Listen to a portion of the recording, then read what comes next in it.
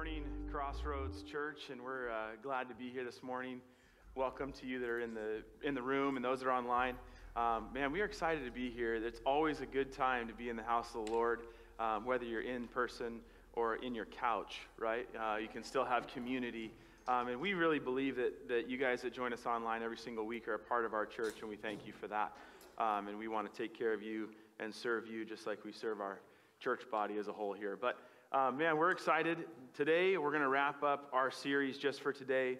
Um, it's going to be the last part of this series, um, and I'm going to talk about the last two habits. Um, and so, if you guys are like, man, I have no idea what you're talking about, I'll catch you up in just a second, all right? Um, but I'm excited to share that. One quick thing that I wanted to make note of before we get into it next Sunday, um, June 20th, is Father's Day, right? And we are going to have a service at the lake, right? So, we're going to have worship at Hagg Lake. Um, and so that's going to be a one shot deal at 10 a.m. We're going to do worship at the lake. Um, and so if you follow us on social media, um, on our website or Instagram or Facebook, we can get more details for you. If you just if you don't do any of those things and you're like, man, I still don't I still don't know what's going on. I need some help. Please call the office and we'll talk you through it and we'll get you all the information you could possibly need. Um, but basically, we're going to go out there. We're going to have church at 10 o'clock, and then we're going to have we're going to eat right? Because everybody like that's like that's old school Pentecost, right?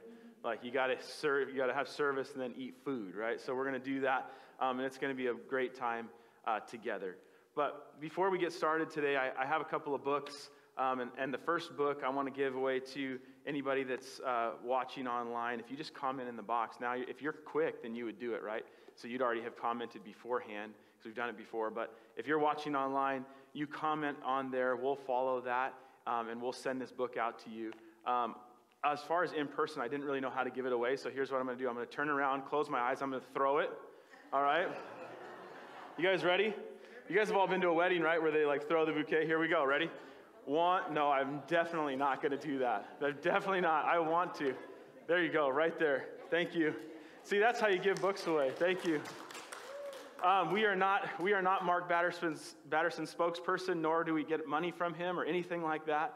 Um, we just believe he's a wonderful brother and Lord and pastor in Washington, D.C., and this book has meaning because God inspired it. Um, and so we just want to make sure we get that um, into people's hands. And, uh, and, and so that's a fun, a fun way to do that. So, Don, thank you for being Johnny on the spot ready. I like that.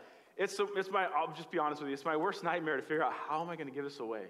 Right? Even with kids, you know, because kids are like, I didn't get one, you know, and you think like adults grow out of that. They don't. Adults are like, I didn't get one. They gave something, you know. So I'm like, oh my gosh, I don't want to get people upset because I didn't give them the book. So thank you so much for helping me out. Um, no, this morning I'm gonna we're gonna finish the series, like I said, and we're gonna continue to talk about imagining unborn tomorrows. Um, this is an exciting part for me because I love to dream. I love to look forward. I love to see and think about what's coming next. Um, but here's something about me that, that might be different than you, and what maybe you relate to me in this. I, I, I like to dream, but I struggle with creativity sometimes, right? So I'm not like a creative person. You think, well, like you, you do music and stuff like that. Yeah, but that's because somebody like showed me how to do it, right? I'm just like figuring it. I don't, I don't create things or or figure that out real well. And so when I get to these imagining unborn tomorrows, I'm like, yeah, no, no, no, I'm, I'm looking forward to the future and I'm, I'm ready for it and I'm excited for it, but like, I, like, what do I want to do? Or like, what, what should I be excited for, right?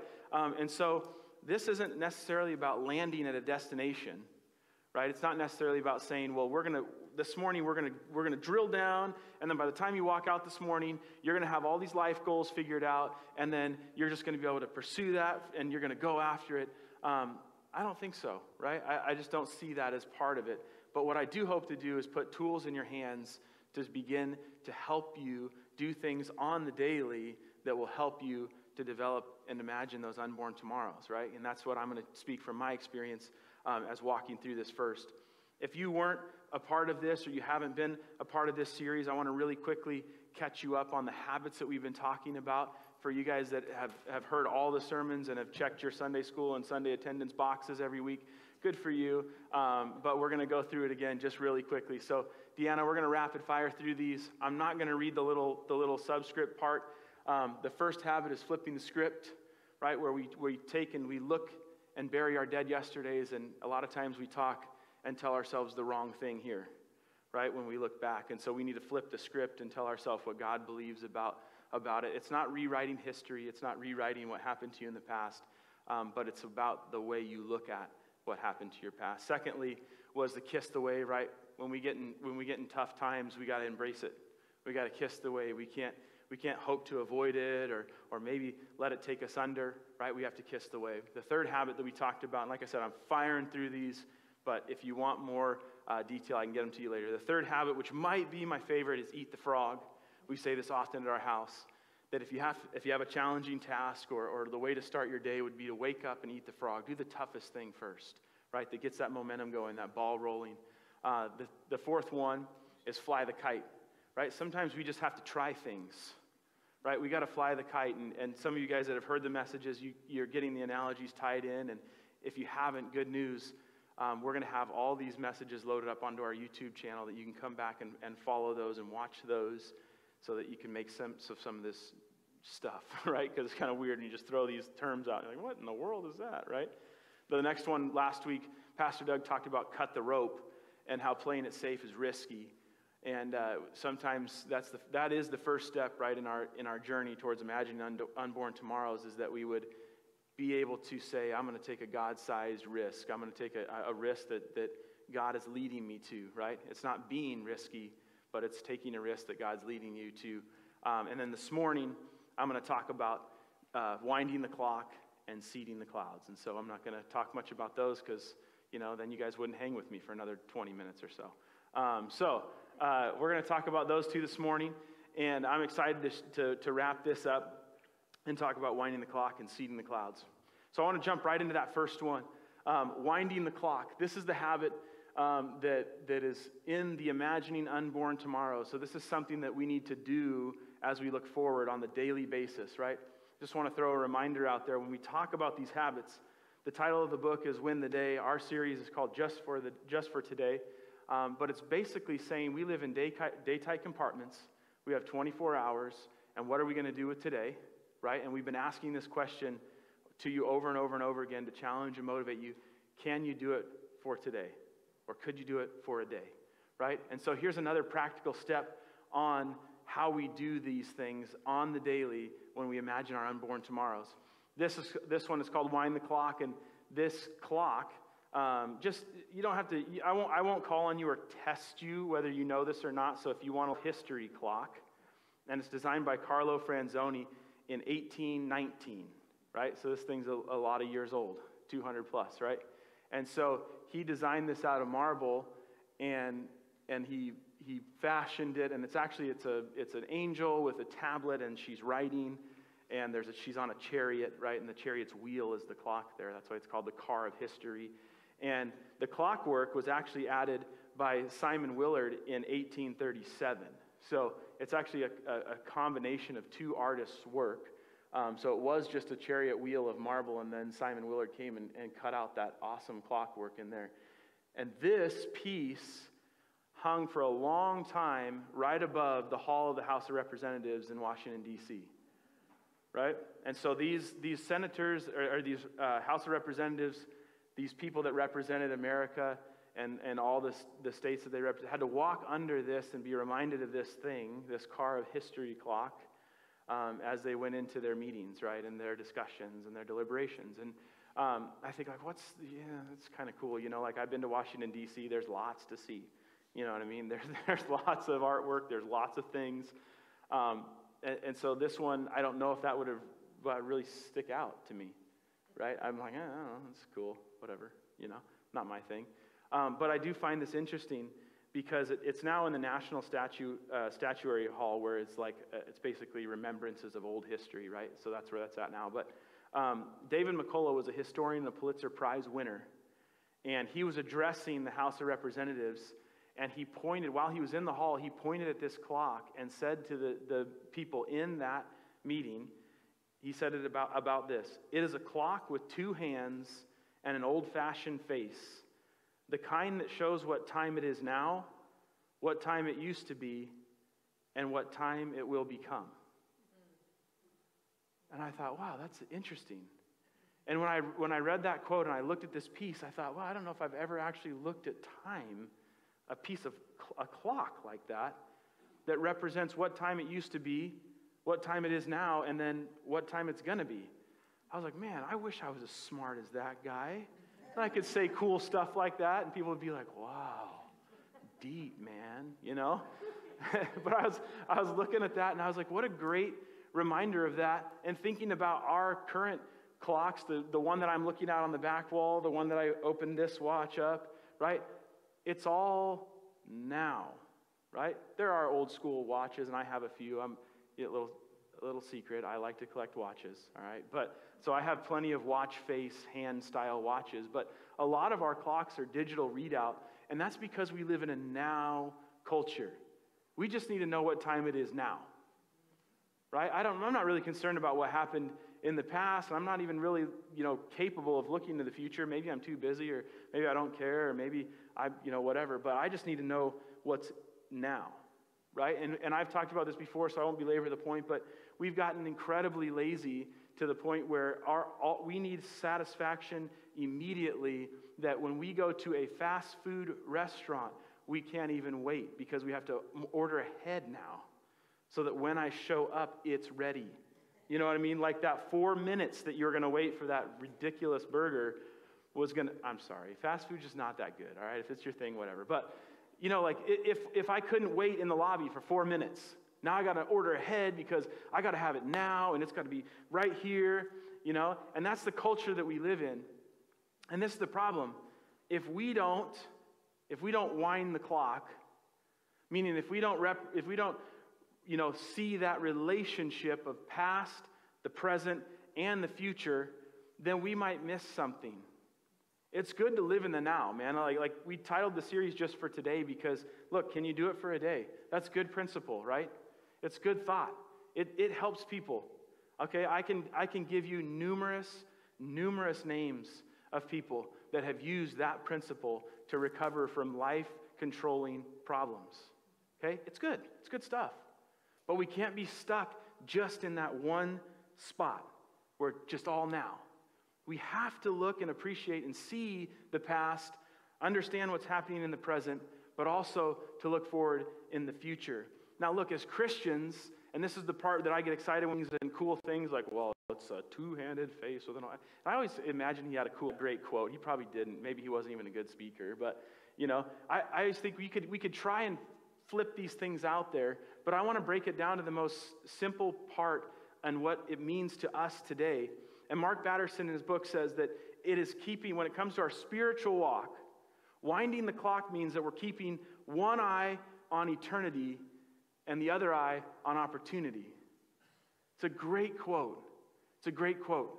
Here's why because spiritual disciplines, hear me on this, spiritual disciplines are the pathway from living a life that you control or you own and you try and manufacture and make and submitting your care and control or submitting your will to the care and control of Christ.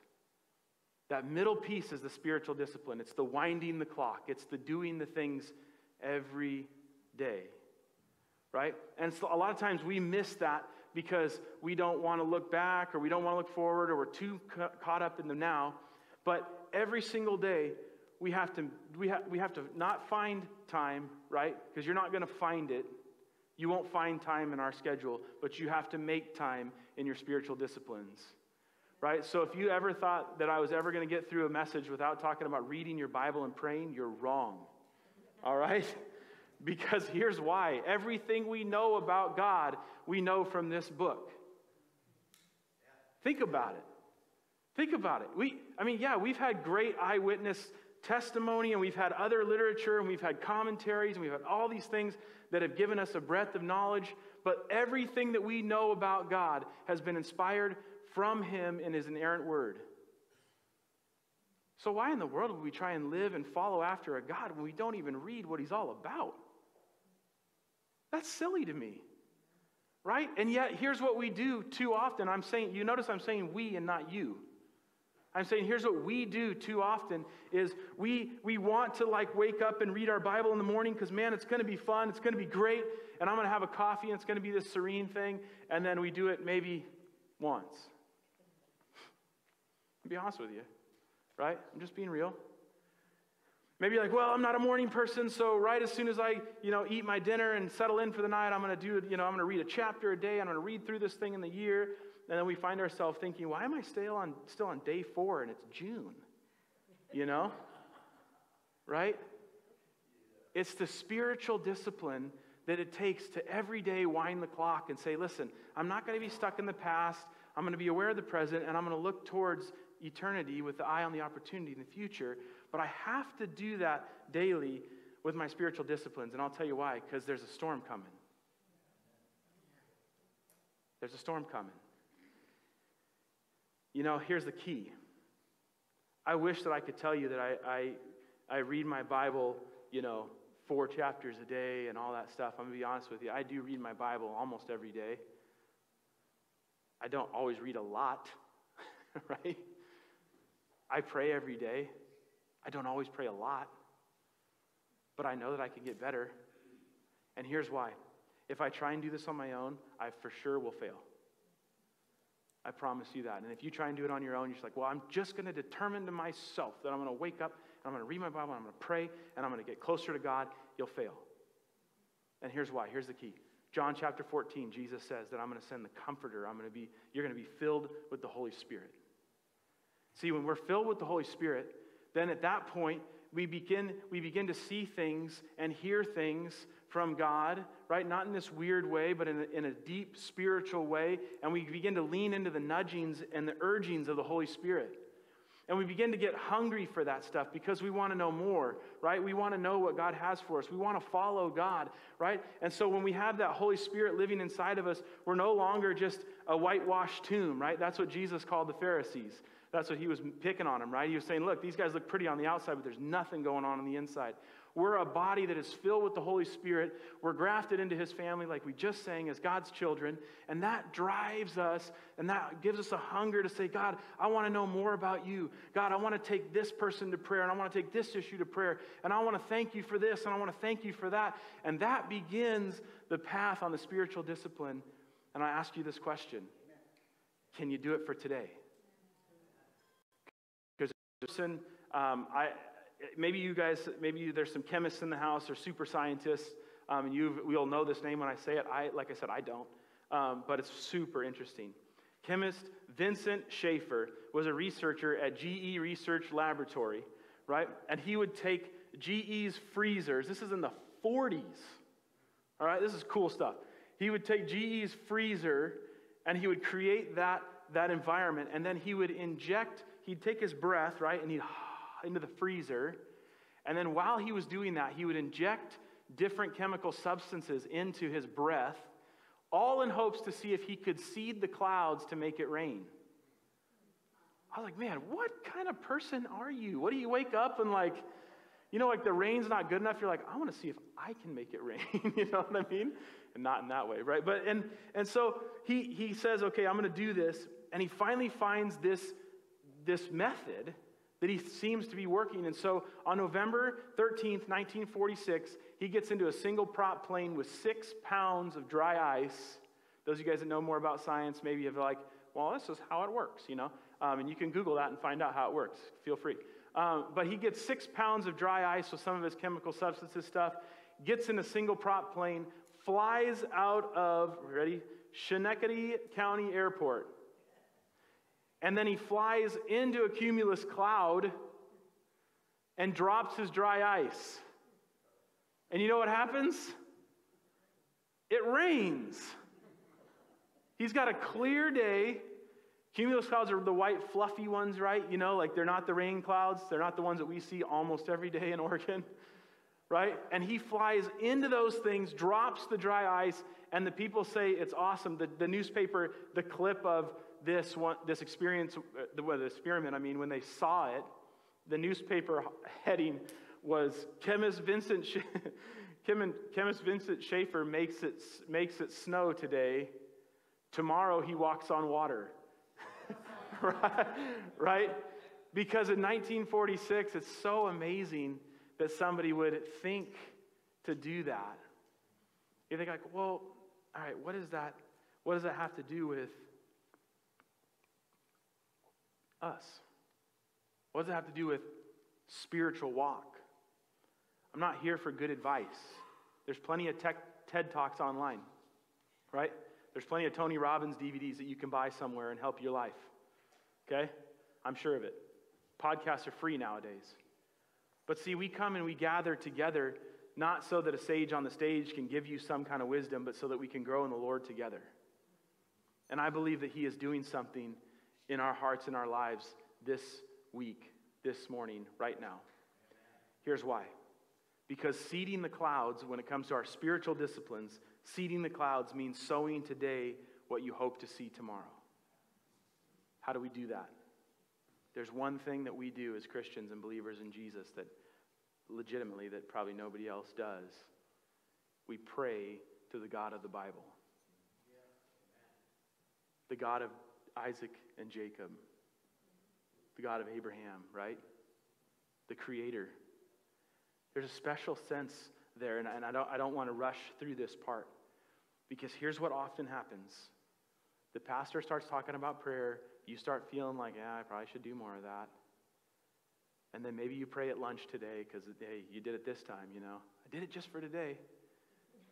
But I hope if I just take a minute to explain this, maybe you followed Jesus for 50 years, maybe you just following him today. This morning you're like, you know what, I'm going to I'm going to try this out. Here's the benefit. Here's the coolest thing that I could ever think of that the God that created the universe, the God that sets galaxies into motion, the God that tells the ocean how far to go, how the animals are supposed to look, how many breaths we're supposed to take in a day, how all the intricate parts of our body are supposed to work, that God wants to conversate, have a conversation with you. Think about it for a minute. And yet, it's we're too busy, man. We got to get we got to get somewhere and go somewhere and do something. Listen, I'll tell you, if you start seeding the clouds with prayer and you start entering into that conversation with the creator God. We sing songs all the time that call him waymaker, miracle worker, promise keeper. We say we sing all these God, God, he's a good good father. Right? We sing all these things about him, but are you talking to him? Is your heart talking to him? I'm not just saying some rote like prayer that you, that you figured out and that you said since you're a kid. Does God hear from your heart on a regular basis? Because there's a storm coming. Listen, when we see the clouds, we're hoping and praying prayerfully today what we hope to see in the future right? Maybe you're walking through something in your marriage this morning. Pray about it. Begin to seed the cloud today. Maybe you're walking through something with one of your kids and they're after you or they're, they, you know, you guys are at odds or whatever. Start praying about it. Start praying for them. Start seeding the clouds now. Start, start speaking to God about your depression. Start speaking to God about your finances. Start speaking to God about your physical and your emotional and your, your, your health, all of it. Start to surrender that to the Lord every single day. Find the time. You're not going to find it. Make it. Say, I am going to do this today. I'm going to spend a few moments. Don't, don't bite off too much, right? Don't try and eat the whole pie. It's too sweet, right? Get a little slice and say, hey, I'm going to start today and I'm going to, con- I'm going to have a conversation with the Heavenly Father. And this is what's crazy, guys. This is what's crazy to me. That as soon as I say Jesus, He's listening.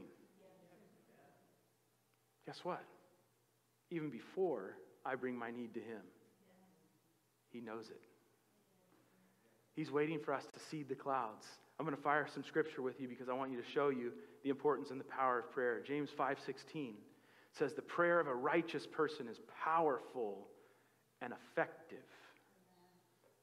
1 Thessalonians 5:17 says to pray without ceasing. Ephesians 6:18 says, "And pray in the Spirit on all occasions with all kinds of prayers and requests."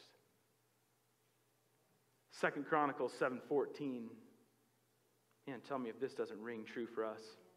If my people who are called by my name will humble themselves and pray and seek my face and turn from their wicked ways, then I will hear from heaven and I will forgive their sin and heal their land. Ladies and gentlemen, power in prayer. We have to begin to say, every day I'm going to seed the clouds for what I hope to see God do tomorrow. Man, there's a storm coming. I want to finish our time this morning with these last five or six minutes with one of my favorite guys outside of Jesus in the Bible. I like them all, but I always find myself back in 1 Kings when we see Elijah, the Tishbite. Probably because I like saying that, you know, like Tishbite, you know, like kind of. You imagine going around telling people that, you know, like I'm Travis the Tishbite, you know, like, excuse me, right? But Elijah, Elijah's a prophet that God has sent to this this day and age, right? And we we pick it up in 1 Kings 17 because when we wind the clock and we see the clouds, there's a storm coming.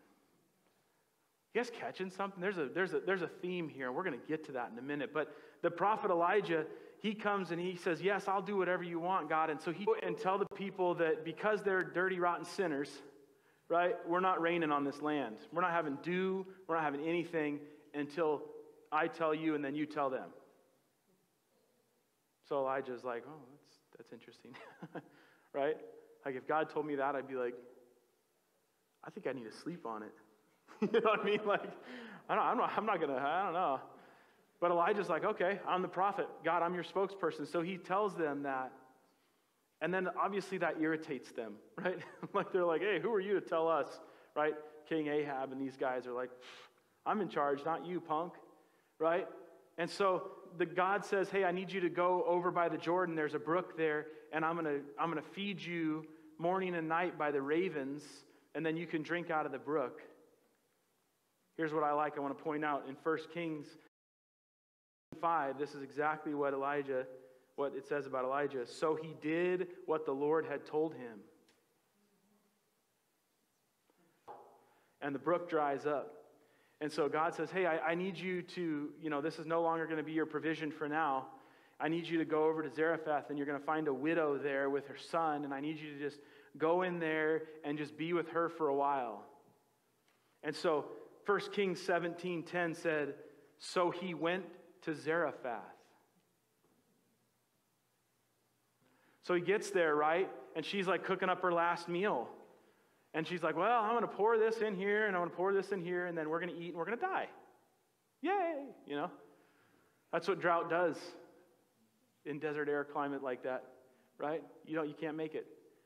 And so God performs a miracle through Elijah. And Elijah, right? We, and, and maybe you've read the story, but maybe you haven't. It's in 1 Kings 17 and 18. You'll find this. But God provides a miracle, and He provides enough food for them. Not just for that meal, but continually. And so the time goes on, and Elijah's hanging out there, and the widow's son dies. And the widow is torn up because it's all she had, right? That's it her son, her boy was it. And so she goes to Elijah and says, Surely you're a man of God. And I, and I know you can do something about this. And so Elijah says, Yeah, her, let, me, let me pray about it. And so he prays about it. And God picks the child up and breathes life back into him. And he comes back to life for the widow at Zarephath. Pretty cool stuff. Then God instructs Elijah after that. He says, Hey, I need you to go to King Ahab and let him know that you're going to defeat the prophets of Baal. They're like, Oh my goodness, man. You know, like if I was Elijah, I was like, Can I just like find a pool? You know, like, can I chill out for a minute? you know? But he's like, Okay. So he goes to King Ahab and he says, Hey, listen, all you guys are worshiping the prophets of Baal, and that's like a mother, like an earth worship, right? It's like, never mind, we don't have time to get into that. So they're worshiping the earth like it is their God. And he says, hey, we're not going to do that anymore. And, and so he's like, well, I want to I, you know, I want to see what you got, King Ahab. You know, I want to see what you got. So Elijah says, okay, send all your, you know, 450 prophets of Baal and, and send them out to Carmel. I'll meet them there. Right? And, and that's a great story in itself. That's a half an hour or more worth of digging into that part. But the short story is the prophets try and try and try. They fail. And Elijah steps up and in 70 some words, he prays and God brings fire. That's amazing. Elijah knew that the storm was coming, so he was winding the clock and seeding the clouds. Right? I want to pick it up right after that in 1 Kings chapter 18, verse 41 through 46. This is right after he God brings down fire. All the people around are like, the God of the God of Abraham, Isaac, and Jacob, he's the God. This Baal stuff is nonsense. If your children in here, here cover earmuffs, whatever, but he says, go grab the prophets of Baal, take them to the thing and slaughter them, you know? And so they, he killed all the prophets of Baal, so they're gone. And then he picks it up right here in verse 41. And Elijah said to Ahab, Go eat and drink, for there is a sound of heavy rain. Come on, somebody. We're in a three and a half year famine. And Elijah has the guts to go to the king and say, Hey, go eat and drink, man. Go, go take care of yourself because, yeah, there's a storm coming. Are you kidding me?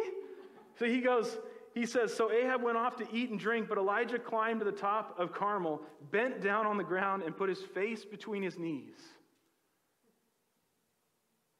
I'm going to stop right there and guess that's not the only time he'd ever done that. I'm going to guess that Elijah actually wound the clock and seeded the clouds day in and day out while he ate from the brook, from the ravens at the brook, while he stayed with a widow at Zarephath, while he encountered and conquered through God's power the prophets of Baal and challenged the king of the known land. I guarantee you that's not the first time that he found himself face down before the Lord saying, God, we need some rain now. Pick it up. He says, Go and look toward the sea, he told his servant. And he went up and looked. There's nothing there, he said. Seven times Elijah said, Go back. Seven times. The seventh time the servant reported,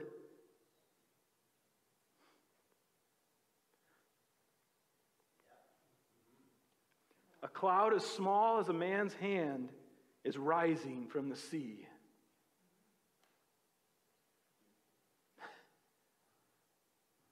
There's a storm coming. And Elijah knew it. He knew it because he'd prayed for it. He knew it because he wound the clock. He seeded the clouds. He did the daily discipline. He listened to the voice of the Holy Spirit. Right? You guys like, well, hey, I thought the Holy Spirit didn't come and, you know, until late. Listen, the Holy Spirit was very, very present in the Old Testament. Right? He actually led the people of Israel by a cloud and by a pillar of fire. Right? He was there. And he spoke that still small voice. And he gave Elijah the confidence and the courage. And so he said, Elijah said, Go and tell Ahab, hitch up your chariot and go down before the rain stops you. Come on. A cloud the size of a, a, man's fist is over the sea, and he's like, Dude, you better get going. Like, this thing is coming today right? And so then it says, Meanwhile, the sky grew black with clouds, the wind rose, a heavy rain started falling, and Ahab rode off to Jezreel. The power of the Lord came on Elijah, and tucking his cloak into his belt, he ran ahead of Ahab all the way to Jezreel. There's a storm coming. See, a lot of times, I started saying that earlier, and you guys were thinking, like, yeah, God's preparing us for these bad times. He probably is but God is also preparing you for a miracle. Because sometimes that storm, sometimes that, that cloud that's the size of a man's fist that's rising out of the ocean is your answer to prayer. It's every night praying for my Aunt Jenny that I can remember. And then when I was 14 years old, she calls my grandma and says, I'm 80 something years old. I don't remember how old she was. I'm going to surrender my life to Christ. That's a small cloud rising over the sea. But it takes that discipline, right? I'm not special. You're not special. When we pray, it's not like God goes, oh, well, shoot, Travis is praying. Right? God's willingness and his ability is always there. It's our readiness that holds us back most of the time. It's our ability, it's, it's not our ability, but it's our want to. It's our engaging in that relationship with him. God is not, God is sovereign. He's going to move. His hand is going to do what his hand is going to do. But, ladies and gentlemen, can I tell you something this morning? God moves on the behalf of those who pray. I've seen it. God healed me in a way that I, that I can't share. And as the worship team comes forward, and we're going to wrap this time up, there's so many stories that I could tell you about how we, my family or myself or people like you, that I've heard your stories where you've seeded the clouds. You've prayed on a daily basis for a relative, a family member. You've asked God to deliver you from something. You've asked God to heal something, and you've seen it happen. I've lived it way more than once. And it's not because I just one time found myself with my head between my knees and face down, because I grabbed that lifeline and said, Oh, yeah, that God up there, hey, would you help me? It's because I decided a long time ago that I was going to follow Jesus. And I decided that His word was good enough for me. And I decided that that conversation between Him and I is important enough. And so I began to wind the clock and seed the clouds and run it back and run it back and run it back, knowing that there's a storm coming, knowing that when I need healing, there's a cloud rising out of the sea because God hears me and the prayer of righteous people is powerful and effective. I pointed out this one thing because I wanted you to see all this. We talked about seven habits and, and you know, all these things. And I want to wrap it up with this. If you don't surrender your will to the care and control of Christ, I'm going to use a word that might offend you. If you don't, then this is just a good TED talk. This is just a whole other book that some obey God. Think about it. when we obey, it's way more than just seven daily habits. It's way more than just a talk around thing. It becomes a lifestyle, and there's a storm coming. Yeah. And we need to be prepared for that. Whether that's a challenging time that God's going to walk us through, like we sang earlier, that He's going to split the sea and we're going to walk right through it, or maybe it's going to be the biggest miracle that you and your family have ever seen. But there's a storm coming. Let's bow our heads and pray this morning. Heavenly Father, thank you so much that we can have a relationship with you through your word and through our prayers. Thank you that we don't have to be a special person, we don't have to have a special word, but God, that we can open our hearts to you and say, God, we need to see that cloud rise over the sea. It's been a long time but God, I trust your timing. And so, God, I pray for every single need in this room and online in our church body and our church family. Lord, in our community, I pray that those needs, as you hear them and as we become a people who are going to be righteous people that pray effectively and powerful, then God, you would hear that and your willingness and your ability would shine in our community. Lord, you would heal our hearts and heal our land, and we would turn from our wicked ways as we surrender to you. God, help us in that journey. Give us your Holy Spirit to nudge us and to poke us every on the daily, Lord God, to speak to us and to guide us. That our will would become yours, God, and, and our plans would become your, your plans would become our plans, God, and we would follow after you with everything that we have. And that we would know that you're there, that you're listening, that you're providing. And we say yes to you this morning you're in this room or you're joining us online and you've never had an opportunity to say yes to Jesus, you've never said, hey, I don't, I don't follow that kind of God. I don't, I don't know him as my personal Lord and Savior. Then I want to invite you to accept him this morning. It's really easy. You just admit that, you know, hey, I messed up.